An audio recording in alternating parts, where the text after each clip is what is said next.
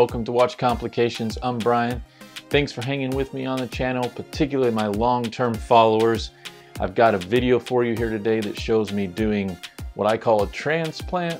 Had customer contact me, has a old Seiko 023, has the 7S26A movement, and he had a request that I get from a lot of people, and that is maybe I'm getting a little bit older or I just want the convenience of a little bit more modern movement with quartz battery replacement in it, but I've got this great case, dial, all this other stuff, hands, and I want a quartz movement in it just for that simplicity and reliability and accuracy, all those other things, which, you know, I'm a mechanical guy, but you know what, to each their own. And the Ronda 515 is one of the most common movements I work with. Tons of videos on the swapping that into different movements, particularly the SKX 007. But this is going into a little bit of an older movement, again, the 023. This was made in the 90s and early 2000s. That sort of time frame was eventually replaced by the Seiko 5. Why not, right? So that's what we got in this video. I'm going to have a lot of information in the description below. Check that out. Subscribe if you haven't. Click the like if you enjoy the video. Maybe even consider becoming a member. Regardless, check out my website, watchcomplications.com, where I have a lot of other information. And I also have a page and all the details on projects like this one and custom holders that I have created to fit particular movements to cases. If you're interested in ordering those, I've got forms and whatnot on uh, the website. All that information is in the description below, and there will be a lot of videos linked throughout this one, at least as many as I can do, which is five to other topics that I hit on as I go through this video explaining this process.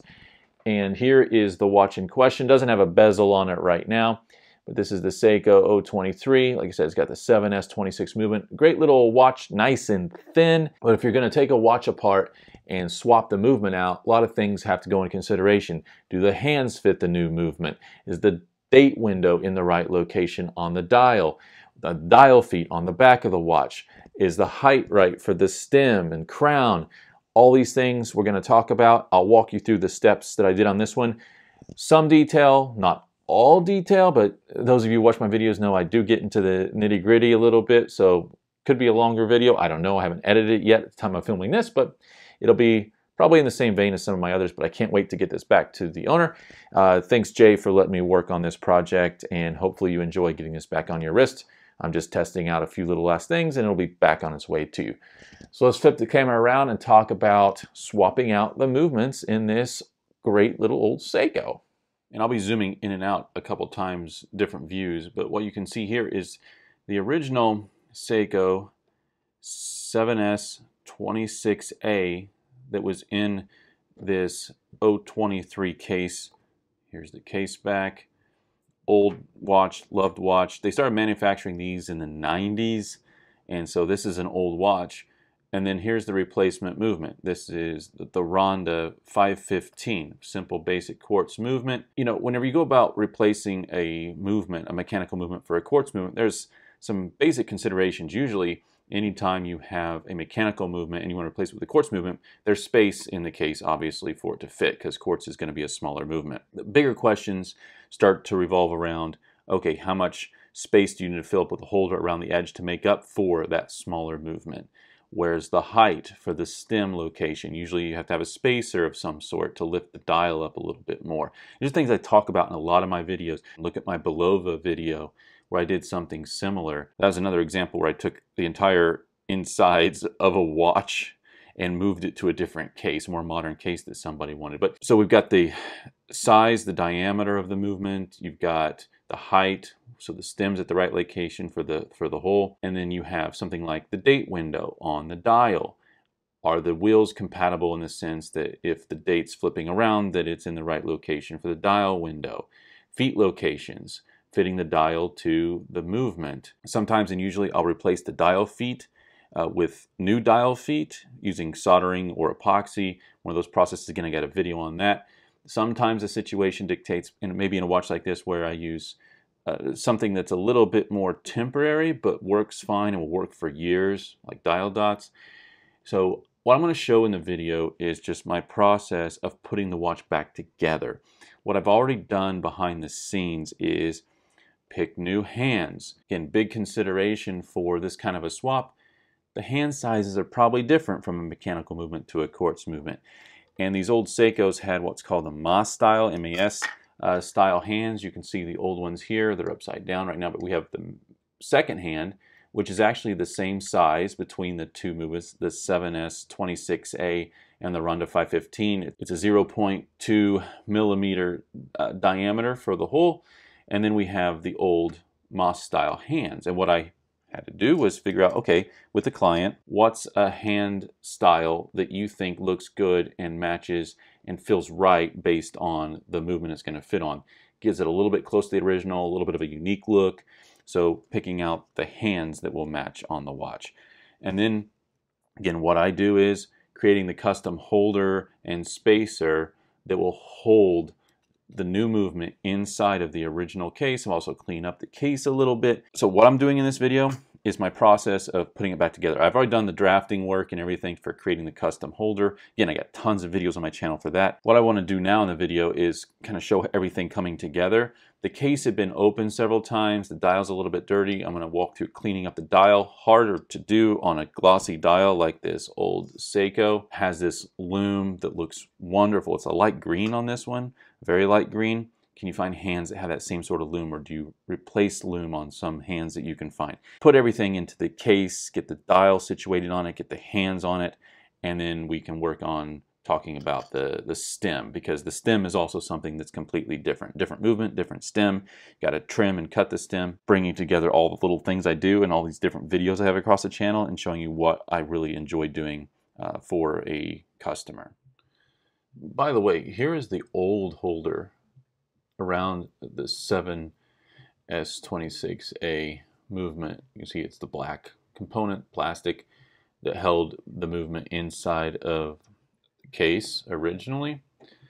And here's my new one that I reconstructed to hold the Ronda 515. Holders take into account things like the interior dimensions, diameter of the case, stem location, and locations on the movement that might have gaps I can use so that it doesn't want to twist or rotate as you screw down the case back, giving a little bit pressure points on the case back. You see little nubs on top. A lot of things I put into a custom holder design just to make it as suitable and as robust as possible with this kind of a conversion. Again, I'm trying to show as much as possible in this video. You know, in the lighting may be okay or not okay, but you can see the dial feet locations going right here next to the 10 at the moment and over here between the 25 and 26. Usually I would readjust the dial feet on the back of the dial, but on this particular build, and I don't know if this was because of previous work on the watch or whatnot, but there are no dial feet on the watch. And you can see all of the glue locations that are holding on all of the lume markers. And it's not a super flat dial on the back. And I, I didn't want to mess with soldering on this as well. Again, working with this upside down on, on a glossy surface. And we've already got the, the adhesive going on in the back.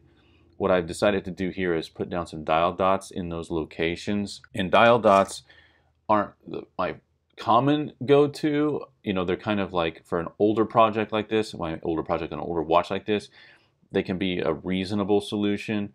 I tend to reapply actual dial feet, but this is just a situation due to the extra height on the back of it, the glossy dial, and the movement that I'm using that a dial dot it will be appropriate uh, to, to put this in the case and it'll keep it in place. It's not going to be an issue, right, as the person wears this watch at all. I'll have to put them on here in a way in which they don't interfere with the holder, but also that they don't interfere with the date wheel, and that's going to be my next step. When it comes to dial dots, a lot of times the diameter is a little bit bigger than what I need. I'm actually going to use an X-Acto knife and just cut it in half and then just use half. That's going to look and operate a lot better than having these bigger circles that are kind of going beyond the boundaries of where I need them to be on the movement.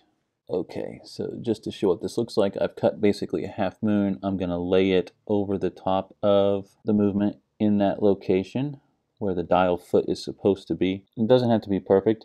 What we want is some stickiness in that location. Just a little bit of stickiness just to help the dial stay in place once it's applied. And you could put a few of these around. I might put a couple of them around uh, just to make sure that the dial stays where we want it to stay. You can kind of see the locations where I've removed the paper from. I went ahead and did it on the four sides on this example. It's not a path I go very often, but it just was, it felt right on this one. I think it's gonna be the best approach and it's gonna look pretty good. Now I'm gonna fit the dial on the top. Again, make sure you have the washer on. If you were doing something like this, easy to forget, be like, oh no, now I gotta go put the, take it all apart, put the washer back on. The issue with the date window is, when moving from one movement to another, is are the dimensions close enough that you don't see other bits and parts around the date you want shown. A little bit of the 26, a little bit of the 28, how much to the left or right. Those dimensions are gonna be different from movement to movement. It's really close on these two, so I'll be able to get away with it looking okay.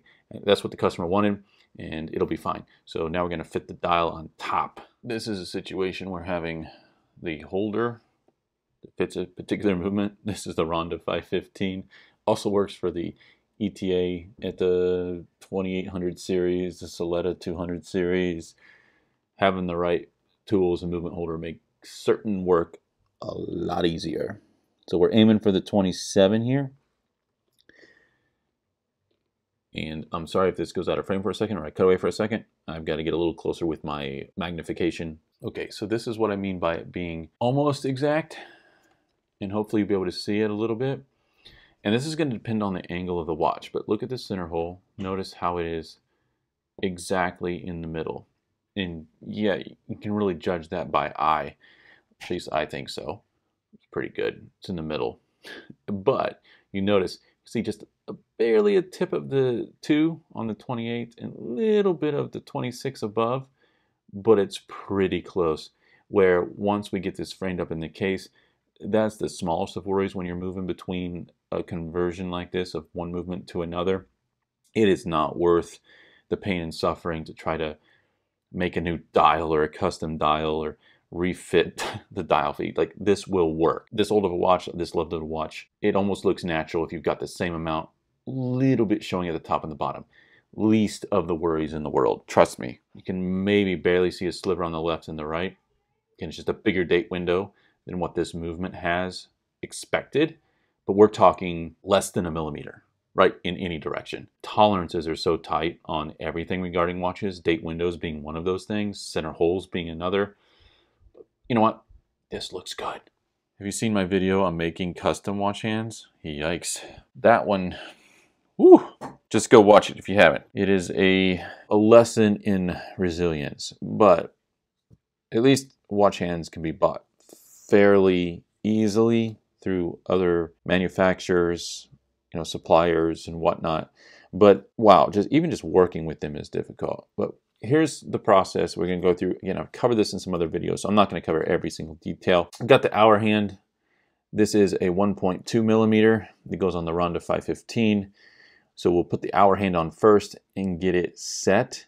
One of the things that you have to consider with the hour hand and placing it on the movement is you want to get the date to the point right before it flips because when you set the hour and the minute hand on there you want it so that when it hits 12 o'clock the date flips. So you have to get the date movement right before it flips place the hands and then it looks correct. You forget that step then you have to remove the hands again glossy dial you don't want to muck with that too much you'll mark up the dial pretty easily best case scenario do it right the first time what we'll do is pull the movement out to the time setting. And although you can't see the hour wheel moving around, you can see the quick set for the date. Okay, let's go to two. That sounds fun. So we'll pop that out to the time setting position. And although you can't see the center wheel turning, I can't either.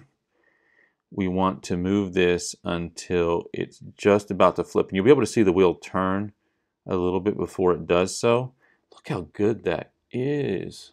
So I have the hour hand on. Again, date just flipped to 3. You see the plastic tip here is 1.2. That's the size of the hour hand diameter. One of the things is uh, that helps with one of these devices is it's 1.2, meaning it helps kind of protect a little bit against pushing too far. With anything, you could always push too far. So once I get this hand fitted down, then I want to put the minute hand right on top of it at 12 o'clock, and then everything should be synced up nicely.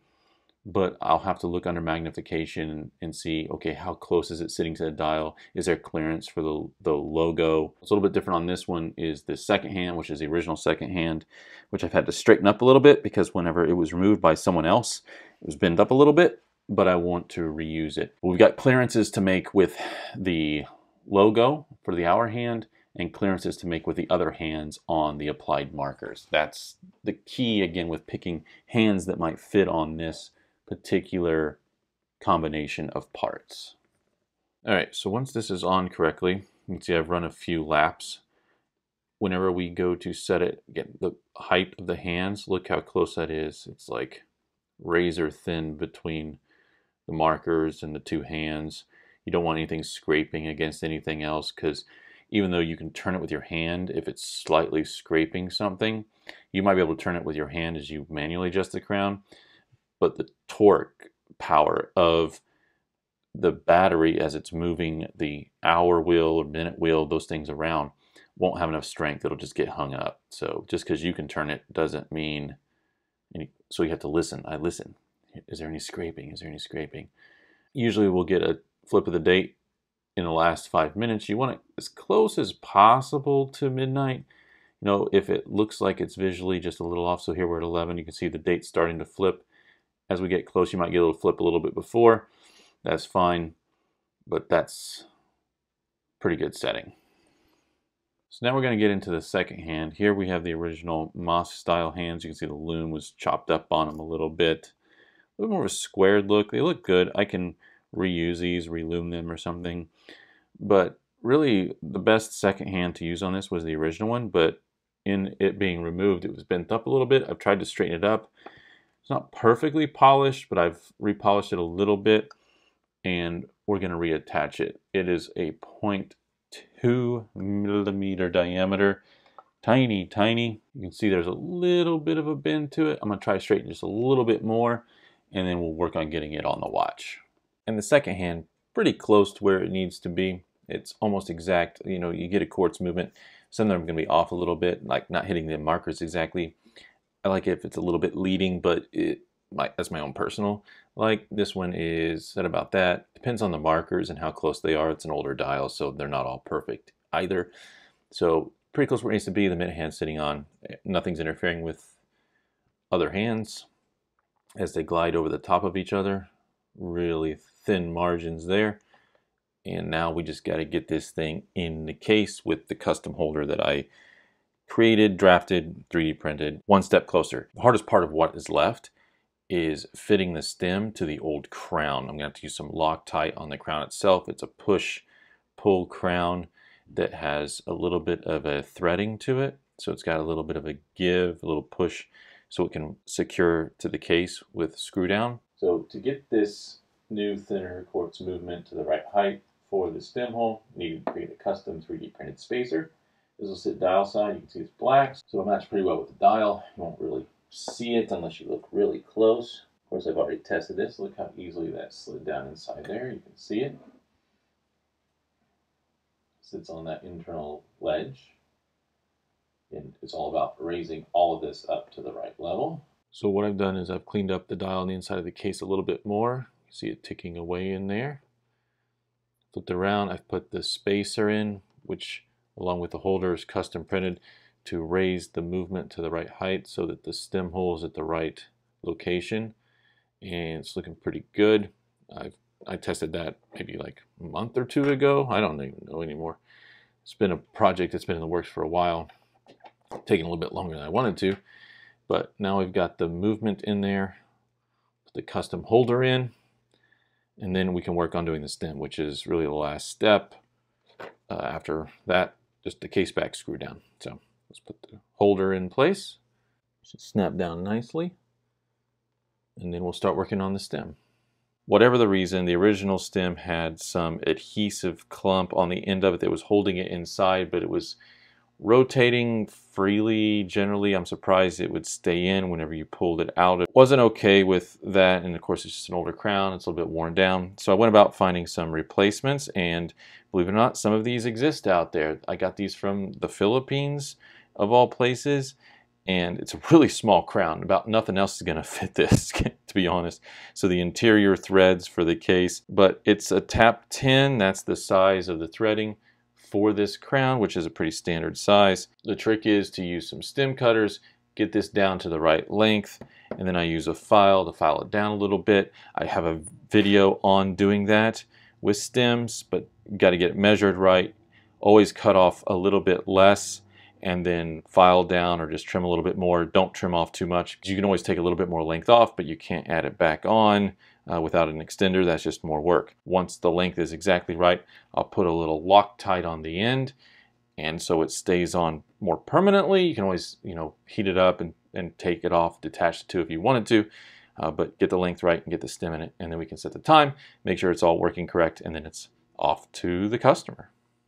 Okay, so here we are I put the Loctite on the stem and crown connection, screwed it in, letting it dry, set the time, so I'll just judge over the next day, make sure timekeeping is working okay.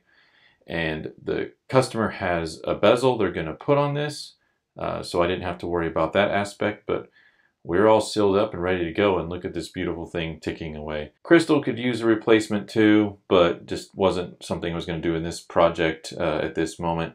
But that could be done at some point if the person wants to do so. And yeah, now it's ready to go. Let's check out.